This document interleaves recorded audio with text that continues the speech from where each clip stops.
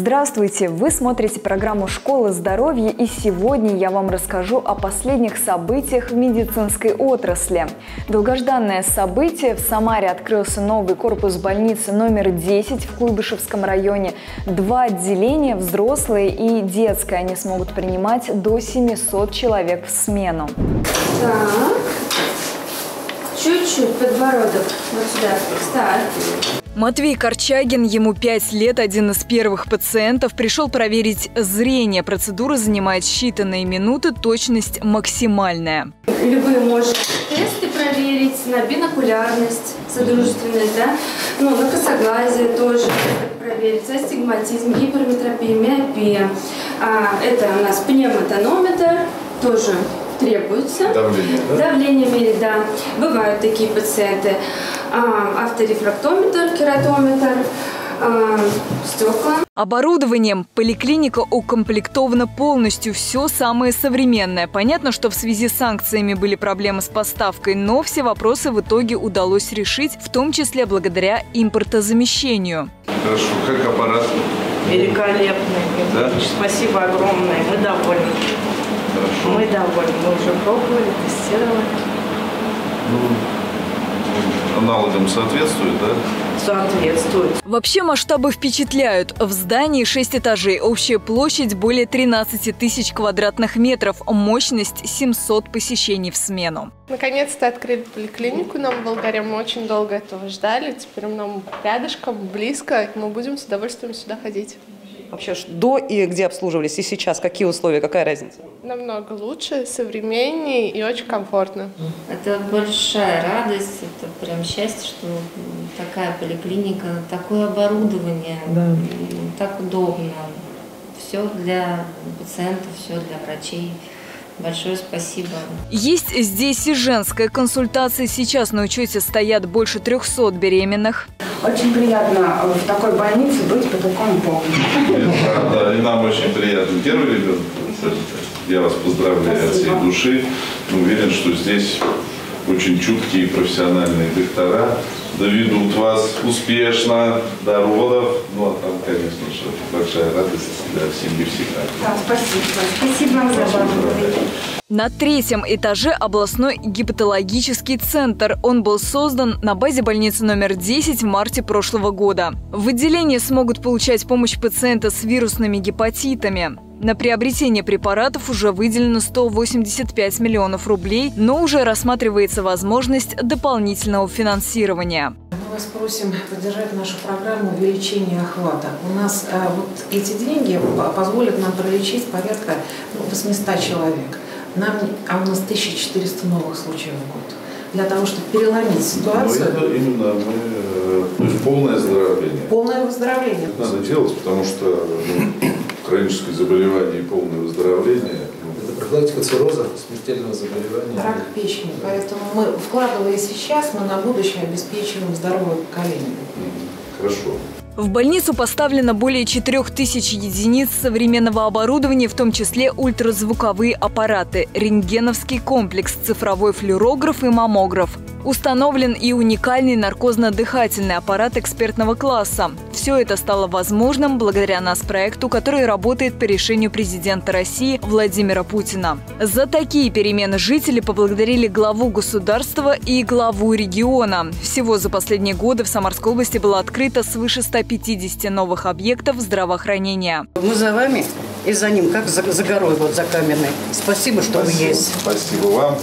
Ну, вот действительно, наш проект э, здравоохранения позволяет нам создавать Да. вот такие новые лечебные учреждения, новые поликлиники. Очень рад, что такое современное здание, современное оборудование здесь для жителей Куйбышевского района. Уже работают в новом здании и психологи оказывают помощь, в том числе семьям военнослужащих.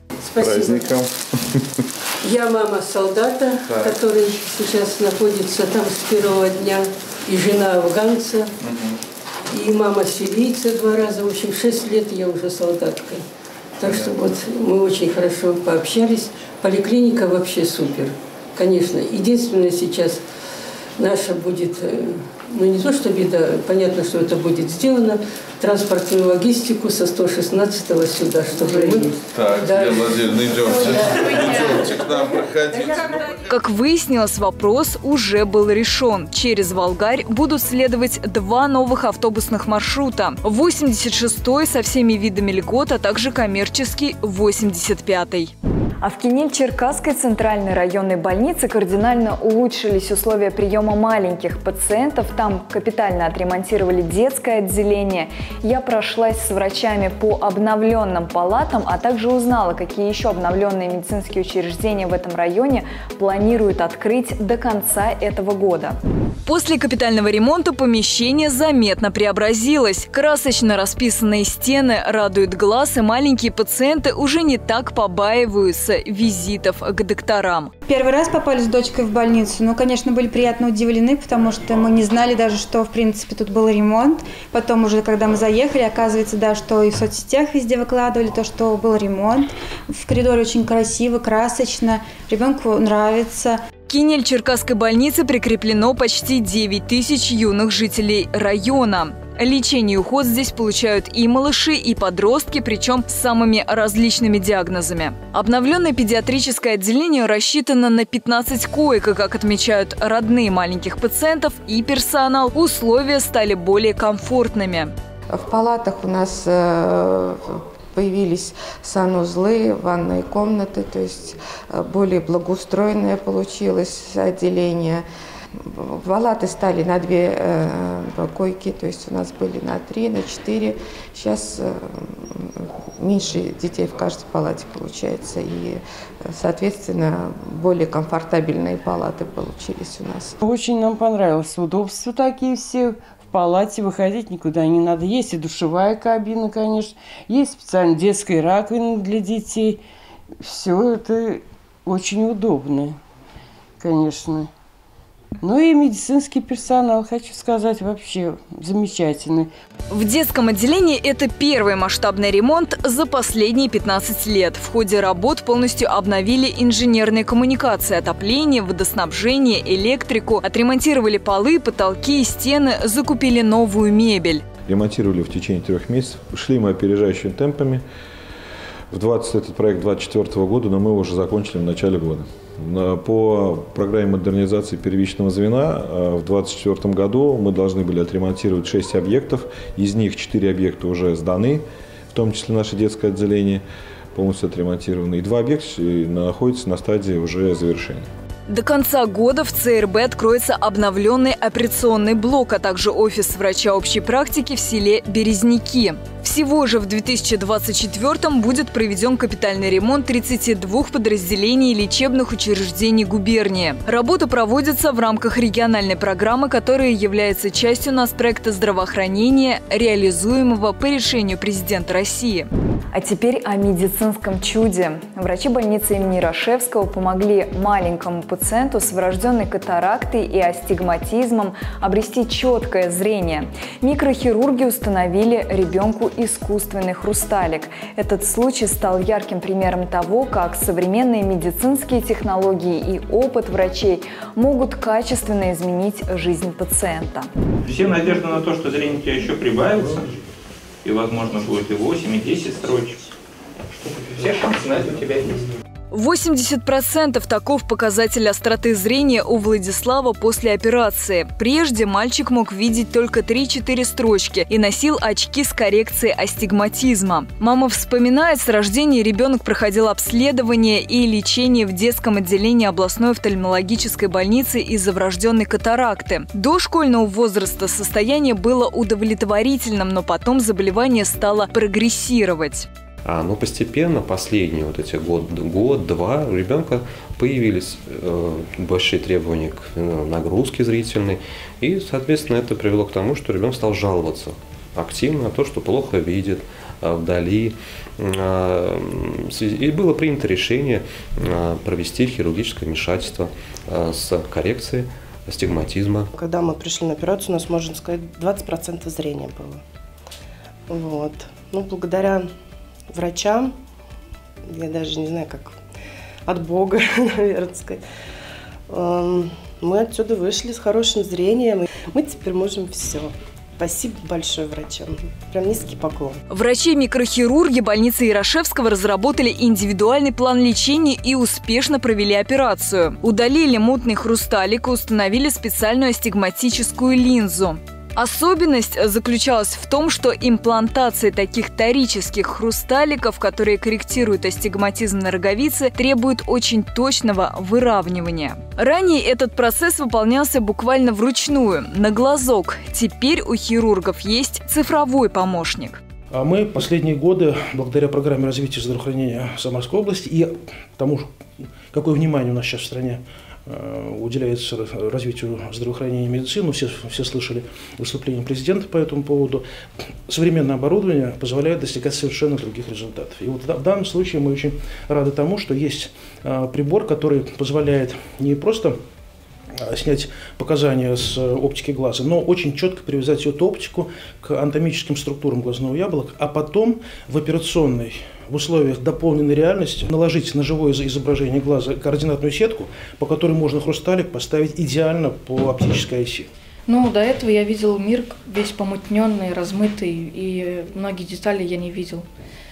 Ну, до этого я думал, то, что так и должно быть, но после операции я стал видеть каждую пылинку, можно сказать, каждую соринку, и мир поменялся на до и после.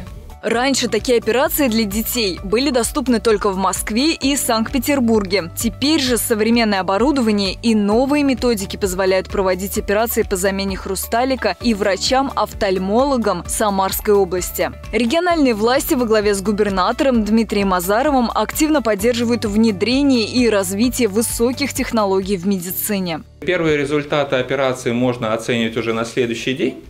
Вот, окончательно говорить о том, какое зрение установилось, э, приходится где-то через месяц после первичной операции. И то это благодаря тому, что сейчас э, современные технологии позволяют делать микроинвазивные вмешательства.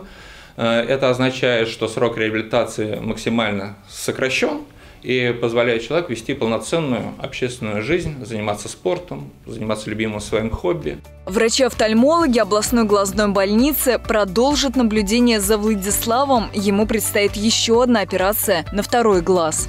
И еще об успехах самарских медиков – Врачам областной больницы имени Середавина удалось спасти мужчину, который пережил клиническую смерть. Специалистам удалось возобновить его сердцебиение.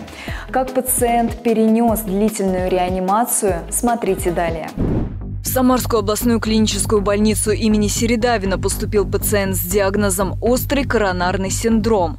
Через пять минут остановка сердца. Реанимационные мероприятия продолжались достаточно долго сопровождались многократными повторными нарушениями сердечного ритма, что требовало как бы изменения хода интенсивной терапии в процессе оказания неотложной помощи реанимационных мероприятий.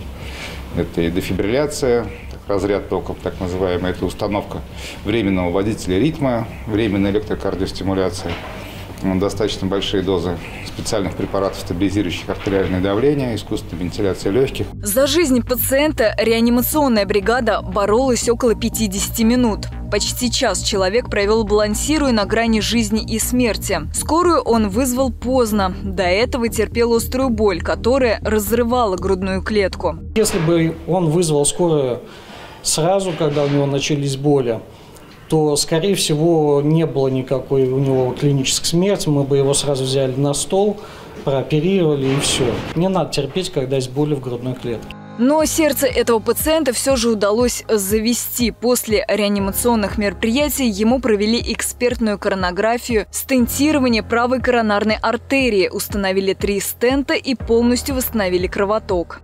Благодаря вот этим вот героическим усилиям и, конечно, как бы фортуне, в общем-то, человек выжил и, в общем-то, в отличном состоянии. Сейчас находится 12 дней у нас провел, несколько дней в реанимации потом перевели в отделение. Сегодня отправляется на дальнейший этап реабилитации. Восстановление, я считаю, достаточно полное, и центральная нервная система не пострадала. Огромная благодарность персоналу, врачам, медсестрам, за профессионализм, за исполнение своего долга, то, что борется до конца за жизнь пациентов. Исполнять свой долг врачам помогает и современное оборудование, которое поступает в больницу по нацпроекту здравоохранения. Это в том числе ангиографы, аппараты КТ и МРТ. В Самарской области созданы все условия, чтобы помогать пациентам с сердечно-сосудистыми заболеваниями. В 16 специализированных учреждениях работают 6 региональных сосудистых центров и 10 первичных сосудистых отделений.